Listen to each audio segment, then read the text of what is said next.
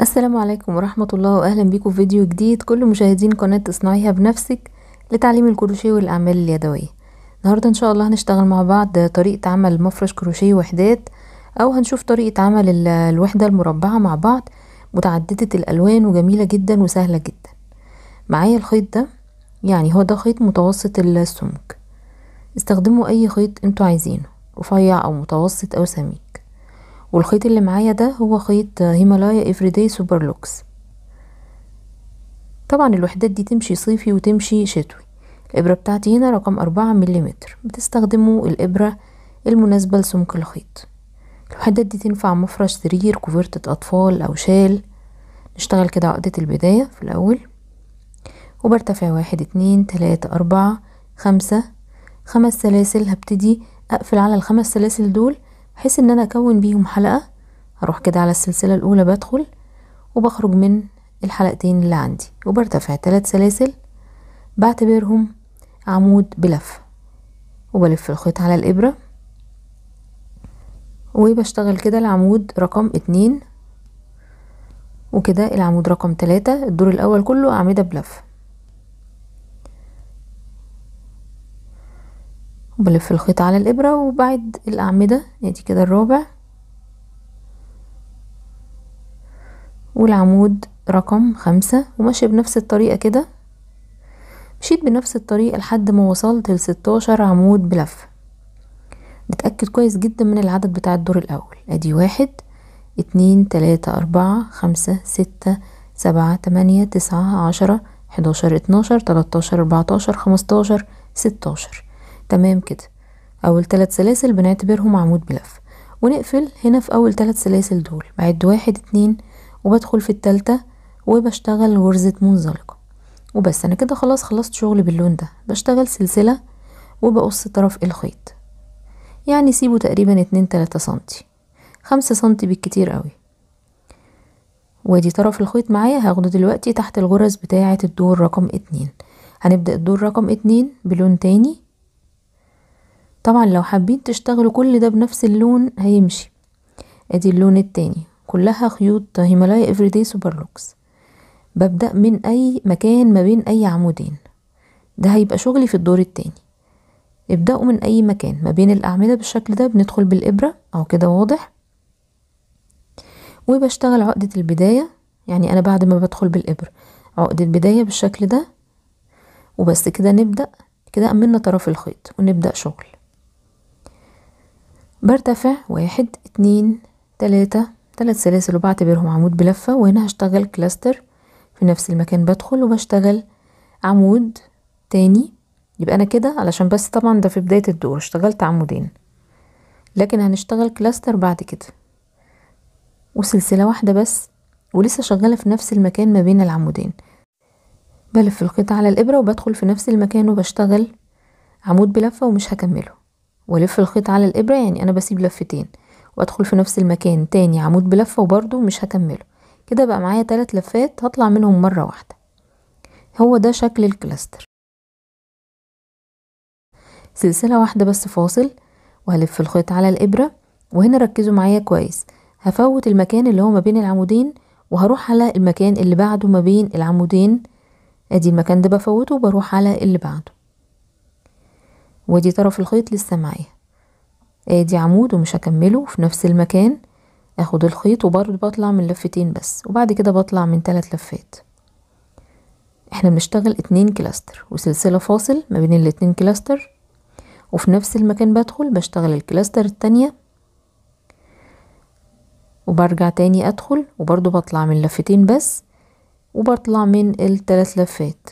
هي سهلة جدا. cluster مكونة من اتنين عمود بلفة غير مكتملين. ما ننساش في عندنا سلسلة فاصل. ونبدأ شغل الاتنين cluster اللي بعده. هنفوت الفراغ ده أو المكان ده ونروح على المكان اللي بعده ما بين الأعمدة. ونطلع من لفتين وبس وندخل تاني. وبرضو نطلع من لفتين معايا تلات لفات بطلع منهم. وسلسلة فاصل ما ننساهاش. وفي نفس المكان بندخل وبنشتغل بنفس الطريقة. الشغل بالطريقة دي بيخلي الأعمدة تدينا شكل وردة كده بسيط. وادي سلسلة فاصل وهكذا. يعني سلسلة فاصل قبل ما بنتنقل على المكان اللي بعده. نفوت المكان ده ونروح على المكان اللي بعده ونشتغل بنفس الطريقة. طبعا مش بنسميه فراغ لأن ده المكان اللي ما بين الأعمدة. هكمل كده بنفس الطريقة لحد نهاية الدور وهرجع لكم نقفل الدور مع بعض ونبدأ في اللون رقم تلاتة. خلاص كده خلصت الدور وادي شكل الدور رقم اتنين. عدد ال cluster ادي اتنين اربعة ستة تمانية عشرة اتناشر اربعتاشر ستاشر. كل مكان اشتغلت فيه اتنين cluster. وادي آخر سلسلة فاصل. وهنقفل هنا في أعلى أول. اتنين عمود أنا قفلته. نقفل كده بمنزلقة. أو أول كلاستر. وادي سلسلة وخلاص كده. بقص الخيط. تمام كده. وبرضو بنفس الطريقة. طرف الخيط ده هاخده معايا في الدور اللي جاي لحد ما هيختفي. أنا أمنت طرف الخيط بالسلسلة اللي أنا اشتغلتها في النهاية. يبقى كده ده الدور رقم اتنين. اللون رقم تلاتة اللي هنشتغل بيه الدور رقم تلاتة. معايا اللون ده. أنتوا طبعا بتنسقوا الألوان زي ما أنتوا عايزين. وكمان تقدروا تستفيدوا من بواقي الخيوط كويس قوي في وحدات زي دي. هنا هبدأ من أي فراغ. يعني هنبدأ من هنا. اللي هو فراغ سلسلة. اشتغل كده عقدة البداية. شايفين أنا هنا دخلت ما بين كل اتنين كلاستر واللي بعدهم تلات سلاسل بعتبرهم عمود بلف. بلف الخيط على الإبرة ولسه شغالة في نفس المكان. كمان عمود مش هكمله. وفي نفس المكان كمان عمود يبقى أنا كده معايا تلات لفات. التلات لفات دول هطلع منهم مرة واحدة. يبقى أنا كده اشتغلت cluster وادي اتنين سلسلة فاصل. وهروح على المكان اللي بعده. ركزوا هنا أنا بدخل هنا. ما بين الاتنين cluster في السلسلة الفاصل. وبنفس الطريقة بطلع من لفتين بس وبلف الخيط على الإبرة وبدخل في نفس المكان وبرضو بطلع من لفتين بس. ال cluster عندي هنا مكونة من تلات أعمدة بلفة غير مكتملين. أول cluster كان معايا تلات لفات هنا هيبقى معايا أربعة بطلع منهم مرة واحدة.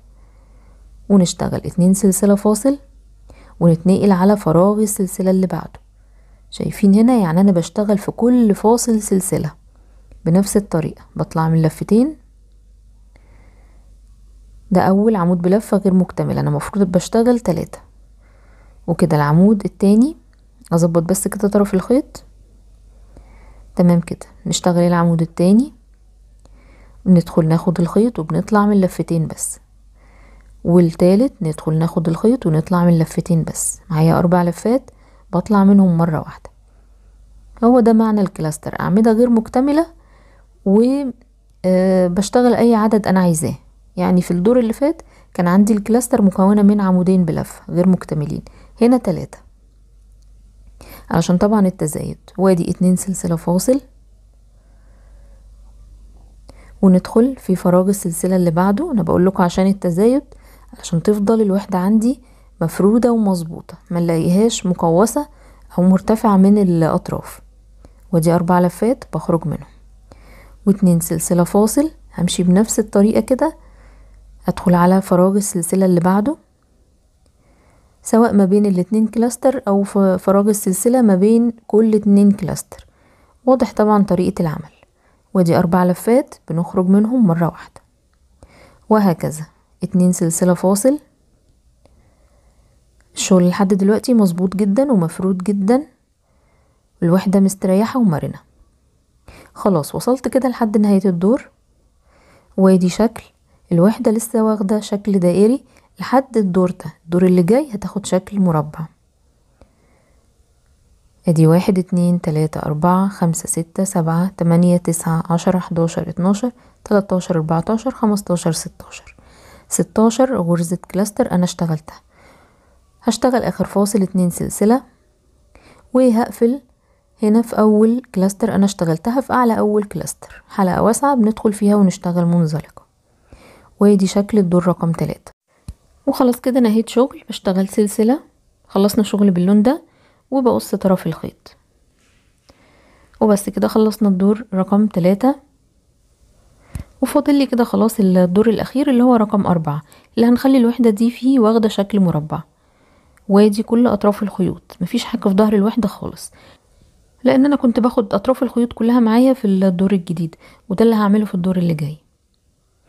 أجهز كده اللون اللي معايا. طبعا أنتوا بتنسقوا الألوان زي ما أنتوا حابين. ألوان هادية ده اللون الأصفر. درجة تانية يعني من الأصفر اللي أنا اشتغلته في الدور الأول.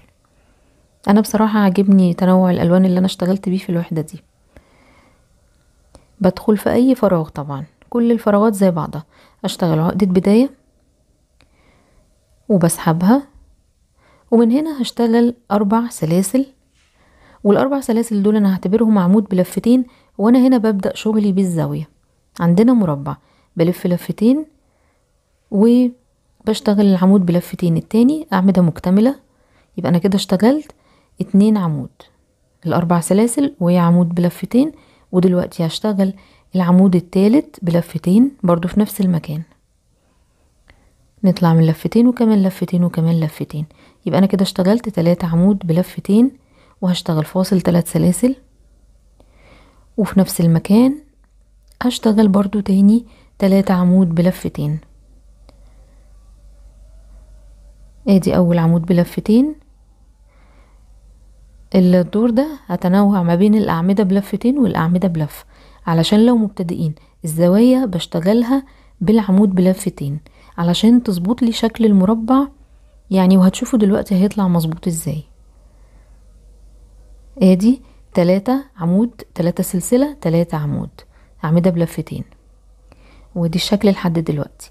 هلف الخيط على الإبرة لفة واحدة لأن أنا هروح على الفراغ اللي بعده اللي هو فراغ الاتنين سلسلة. وهشتغل هنا تلاتة عمود بلفة. أدي كده العمود التاني. والعمود التالت. يبقى أنا كده اشتغلت تلاتة عمود بلفة. هكرر تاني. تلاتة عمود بلفة في الفراغ اللي بعده اللي هو فراغ الاتنين سلسلة. كده واحد. اتنين. والعمود بلفة رقم تلاتة. المرة التالتة هكرر. برضو تلاتة عمود بلفتين في الفراغ اللي بعده. ادي واحد. اتنين. وكده رقم تلاتة. يبقى أنا اشتغلت تلات مرات. ادي واحد اتنين تلاتة. تلات مرات اشتغلت تلات عمود ودي كانت الزاوية هكررها هنا دلوقتي معاكم. هنشتغلها بالاعمدة بلفتين. هلف لفتين وهدخل بالشكل ده وهشتغل تلاتة عمود بلفتين. كده واحد. اتنين. تابعوا معايا لنهاية الفيديو علشان تشوفوا الشكل النهائي للوحدة. وادي كده العمود رقم تلاتة. وأكيد أنا مش محتاجة أقول لكم لو لسه ما اشتركتوش في القناة اشتركوا وفعلوا الجرس. آدي ثلاث سلاسل فاصل. يعني أنا بكرر نفس شكل الزاوية. والف لفتين وبرجع تاني أشتغل تلاتة عمود بلفتين. وبرضه هسيب لكم في صندوق الوصف لينك قناتي التانية كروشيه استوديو علشان تشوفوها وتقولوا لي رأيكم. وقولوا لي رأيكم في التعليقات يعني قولوا لي رأيكم في الوحدة دي. وادي شكل. اشتغلت زاوية وجانب وزاوية وهكمل بنفس الطريقة. اشتغل معاكم كده جزء بسيط.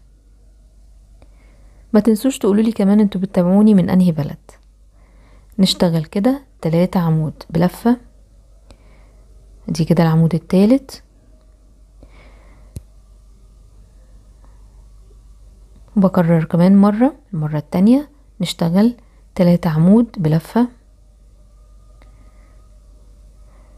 والمرة التالتة بكرر تلاتة عمود بلفة.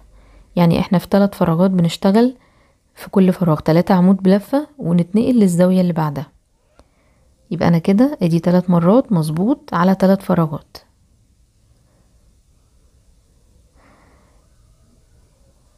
وهنا هنشتغل نفس الزاوية دي بنفس طريقة العمل.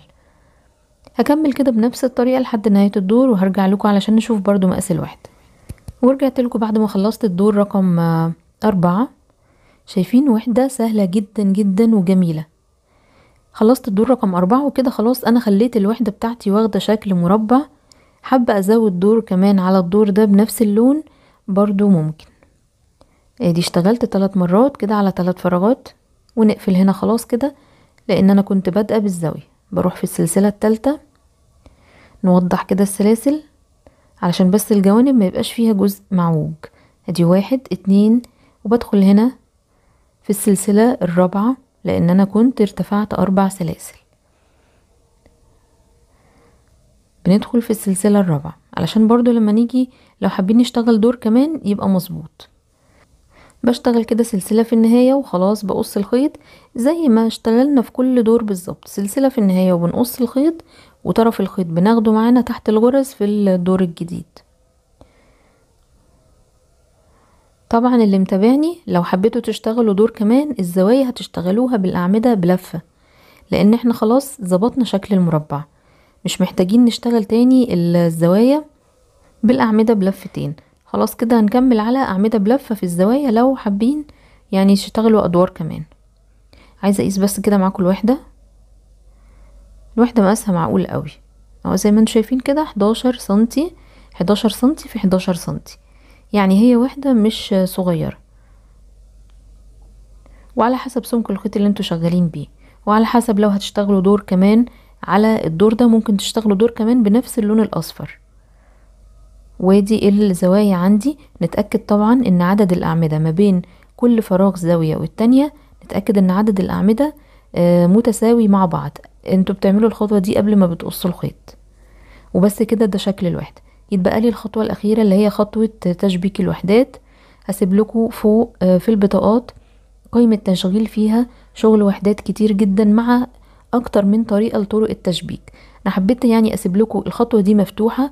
اختاروا طريقة التشبيك اللي أنتوا عايزينها واللي تكون سهلة عليكم سواء كان طريقة التشبيك وإحنا بنشتغل الدور الأخير أو ممكن نشتغل كل الوحدات مكتملة وبعد كده نشبك آه الوحدات شغل تشبيك في منتهى السهولة.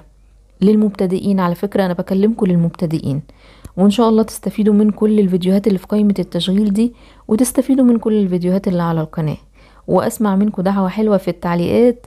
وكده خلاص خلصنا الفيديو بتاعنا لحد ما نتقابل في فيديو جديد. هسيبكم في رعاية الله.